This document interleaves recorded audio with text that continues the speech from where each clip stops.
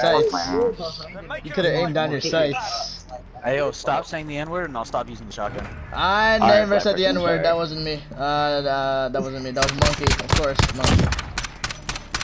Alright, I got your address, bro. I'm on my way to beat your ass after this.